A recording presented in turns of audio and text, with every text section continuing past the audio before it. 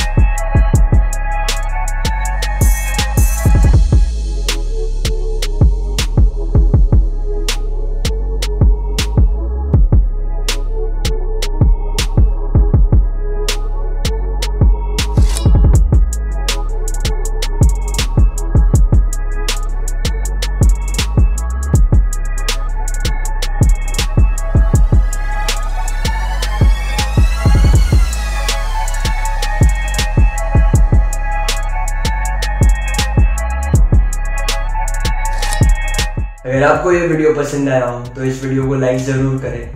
Comment करके मुझे बताना आपको ये कैसा लगा। अपने दोस्तों के साथ इस वीडियो को शेयर कीजिए और मुझे सपोर्ट करने के लिए इस चैनल को सब्सक्राइब करें। आपका ये वीडियो देखने के लिए बहुत बहुत शुक्रिया।